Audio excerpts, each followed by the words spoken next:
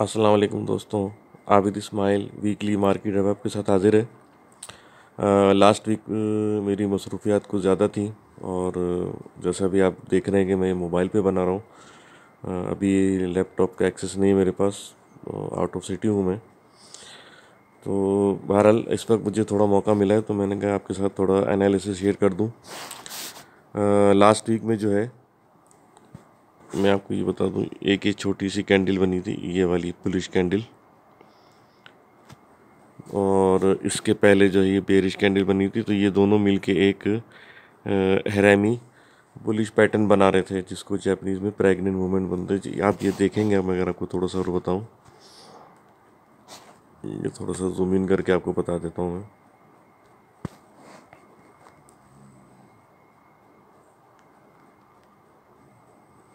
Sorry, गलत हो गया।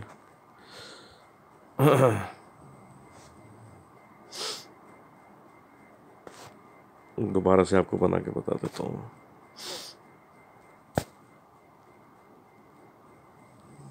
ये वाला पैटर्न ये वाला बुलिश और ये बेरिश एक है। ये पैटर्न मिल गए जो है, एक पैटर्न बना रहे थे हैरेमी जिसमें अभी मैंने आपको बताया।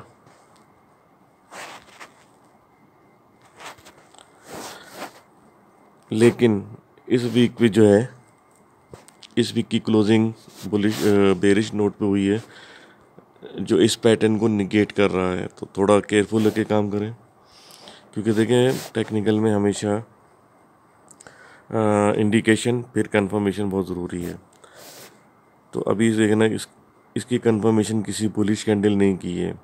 एटलीस्ट की क्लोजिंग जो है, ये जो बुलिश कैंडल की क्लोजिंग थी, छियालीस हज़ार के अराउंड यहाँ पर या इसके ऊपर होने चाहिए थी। कम से कम एटलीस्ट अगर यहाँ पर भी इसकी क्लोजिंग आती, छियालीस हज़ार चार सौ, छियालीस हज़ार पाँच सौ तो हम इसमें मज़ीद अपसाइड देख सकते थे, लेकिन इसकी क्लोजिंग जो है, पैंतालीस हज़ार सात सौ तिरपन पे आई है वीक की क्लोजिंग तो थोड़ा सा कॉशियस होकर काम करें। दूसरा ये सीपीआर का लेवल हो सकता है। मैंने पहले भी कहा था कि मार्केट यहाँ से साइडवेज हो सकती है क्योंकि इसका सी पी का जो मिडिल बैंड है, जो कि तकरीबन पैंतालीस हज़ार चार सौ बीस के अराउंड है तो मार्केट देखें यहाँ सपोर्ट लेती है, यहाँ क्लोज इस, यहाँ तकरीबन देखें यह विक भी बनती है और यहाँ यहाँ से ओपन भी होती है, लेकिन क्लोजिंग जो है, अभी फ़िलहाल इसके ऊपर ही हो रही है। क्लोजिंग एटलीस्ट जैसे ना उनको बताया था सैंतालीस हज़ार हो जाए तो बहुत अच्छा ये वाला लेवल लेकिन छियालीस हज़ार पाँच सौ भी होती है तो कुछ उम्मीद बन सकती है वीक ऑन वीक बेसिस पे। प्लस मार्केट कैपिटलाइजेशन ठीक है ना? यहाँ पे इस हालाँकि ये देखें ये पुलिस कैंडल फॉर्म हुई थी ये जो मैं आपको बता रहा हूँ ये वाली पीली वाली। आ, लेकिन इसमें जो वीक ऑन वीक बेसिस पे सेवेंटी वन बिलियन डिक्रीज़ हुए थे मार्केट कैपिटलाइजेशन में से। और इस वक्त भी सूरत हाल यही है कि बेरिश कैंडल भी फॉर्म हुई है इस वीक में और 61 मज़ीद 61 बिलियन और डिक्रीज़ हो गए हैं। तो मार्केट कैपिटलाइजेशन भी ऑब्वियसली देखें छः छः हज़ार सात सौ बिलियन पे आ गया है। थोड़ा कोशिश रह के काम करें। छः हज़ार पाँच सौ का फिर अगेन ये बेंच मार्क है हमारा। अगर फिर इसको ये ब्रीच करता है तो फिर अगेन हम वापस छः हज़ार तीन सौ छः हज़ार इवन छः हज़ार बिलियन रुपीज़ भी हम चाहता हुआ देख सकते हैं। मैं अपनी पिछले में, पिछली वीडियो में भी कहता रहा हूँ कि कुछ चंद स्टॉक हैं पावर सेक्टर के एक्सप्लोरेशन सेक्टर के और रिफाइनरी सेक्टर के। बस उसी में हम इसमें ज़्यादातर देख रहे हैं रैली बनते हुए। बाकी सारे दूसरे सब जितने भी स्टॉक हैं, वो अपने लो पे लो पे आ रहे हैं। लो वो भी तो लोअर जो लेवल है वो भी ब्रेक करते हुए नीचे आ रहे हैं। तो उन्हीं स्टॉक में काम करें। जिसका मैंने आपको बताया इनका पी रेशियो अच्छा है, डिविडेंड ओरिएंटेड है, फर्टिलाइज़र के बहुत अच्छे हैं, पावर सेक्टर के, जो मैं पहले कहता रहा हूँ, मेरे वीडियो में देख लें तो उनमें आप जो है एक्यूमुलेट कर सकते हैं। अच्छा दूसरा देखें, दूसरी बड़ी बात कि इसी वीक में मॉनेटरी पॉलिसी का जो मीटिंग कमेटी की मीटिंग थी, उसमें भी यही हुआ था कि इसको अनचेंज रखेंगे, बाईस परसेंट को। लेकिन इसका आपने रिफ्लेक्शन आपने मार्केट में देखा, क्योंकि ख़ास इन्वेस्टर का इसमें इंटरेस्ट नहीं रहा। क्योंकि बाईस परसेंट स्टिल ज़्यादा है, दूसरा पेट्रोल की प्राइसेस बढ़ गई हैं, तीसरा गैस चार्जेस भी बढ़ने वाले हैं। तो ज़ाहिर सी बात जितनी भी एक्सपोर्ट ओरिएंटेड कंपनीज़ हैं जो उनको डिस्काउंट में मिलता था टैरिफ जो था इलेक्ट्रिक का वो भी ड्रॉ करवा दिया है आई ने। जैसे आपको पता है, जब भी उन्होंने ट्रांच रिलीज़ की है, दूसरा जो है अभी गैस चार्जेस बढ़ाने वाले हैं तो ज़ाहिर सी बात है, जो बड़ी कंपनीज़ हैं उन पे जो है लार्ज स्केल मैन्युफैक्चरर हैं एल एस एम जिसे हम बोलते हैं तो उन पे जो है नेगेटिव इम्पैक्ट आ सकता है। इवन अगर अगर देखें कि अगर ये मॉनिटरी पॉलिसी अगर आने वाली मॉनिटरी पॉलिसी में अगर फिर hundred to two hundred basis point जिस तरह इस वक्त जो है, अंदाज़ा लगाया जा रहा था कि जो टी के ऑप्शन हो रहे हैं तो जो जिस रेट पे हो रहे हैं, कायबोर का जो रेट चल रहा है, उसके हिसाब से जो कम से कम जो मैंने भी प्रिडिक्ट किया था कि हंड्रेड बेसिस पॉइंट बढ़ने की उम्मीद है ट्वेंटी थ्री परसेंट तक, लेकिन अनचेंज रहा स्टेबल रही। लेकिन आने वाली मॉनेटरी पॉलिसी में हो सकता है, फिर hundred to two hundred basis point भी बढ़ सकता है।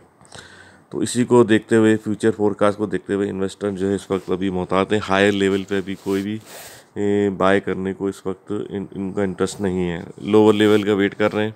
आई थिंक जो ये रिफ्लेक्शन जो आपको नज़र आ रहा है थ्रू कैंडल्स और टेक्निकली तो वो तो यही बता रहा है कि लोअर लेवल का जो है ट्रेडर और इन्वेस्टर थोड़ा वेट करेंगे, हम थोड़ा और नीचे, अगर ऊपर किसी ने लिया है तो फिर डाउन साइड का वेट करेंगे डाउन साइड पे और मज़ीद एक्यूमुलेट करें। और स्ट्रेटजी भी मेरी रिकमेंडेड यही है स्ट्रेटजी के ट्रेडर्स के तो यही है कि buy on dip sell on strength investor जो है वो लोअर साइड पे वेट करें एक्यूमुलेट मज़ीद एक्यूमुलेट करने का अच्छे स्टॉक जो हैं।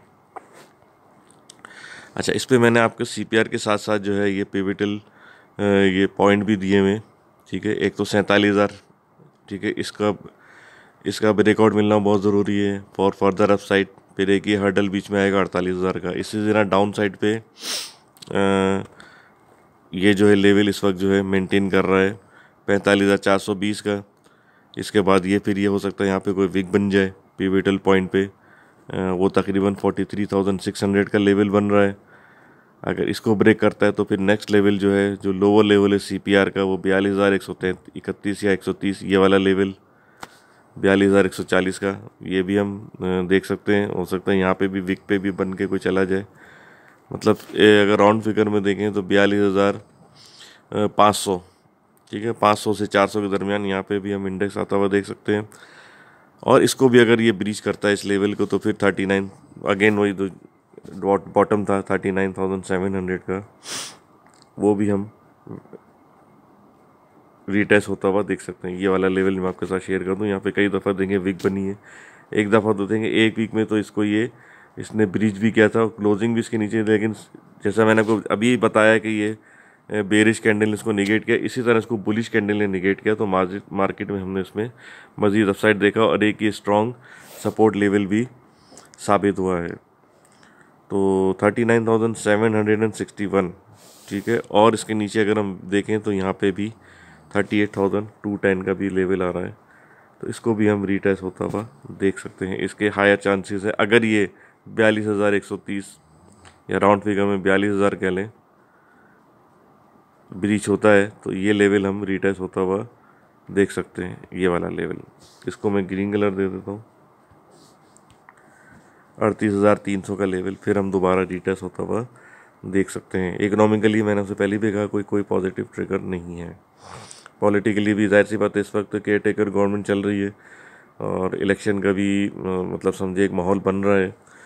तो मेरे ख्याल से तो इस वक्त जो है हायर साइड पे आप सेल करें। मैंने लास्ट लास्ट से लास्ट वीक लास्ट वीक में तो मैं नहीं बना सका था वीडियो इससे लास्ट वीक में मैंने कहा था कि जो है सेल ऑन स्ट्रेंथ आप देखिएगा, मैंने उस पर टाइटल भी लिखा था। तो अभी जो आपने स्ट्रेटजी करनी है buy on dip sell on strength करना है लेवल्स मैंने आपके साथ शेयर कर दिए हैं। ठीक है येलो पिविटल लेवल हैं और सीपीआर के लेवल जो है मैंने वीकली बेसिस पे बनाए हुए हैं। तो इसमें आप देखें, अगर आप उसको नोटिस करेंगे तो तीन तीन हज़ार, क्योंकि वीकली पे अगर सीपीआर अगर हम देखते हैं तो एक सी पी आर और दूसरे से दूसरे सी पी आर का फ़र्क तकरीबन तीन, ढाई, तीन हज़ार पॉइंट्स का होता है। तो इसी तरह अगर देखें अपर लेवल जो है अड़तालीस हज़ार के अराउंड बन रहा है।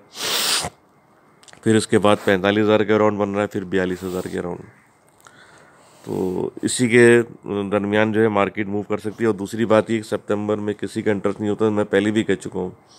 ज़्यादातर इन्वेस्टर का इंटरेस्ट होता है हाफ़ ईयरली और फुल ईयर जिन स्टॉक का फुल ईयर जो है दिसंबर में है या हाफ़ ईयर में तो फिर ये आप जनवरी में आप इंशाल्लाह जिस तरह जुलाई में अपने रैली बनती हुई देखी, इसी तरह जून में भी आप रैली बनते हुए सॉरी जनवरी में आप रैली बनते हुए, जनवरी से शुरू हो सकता है ये रैली बनना।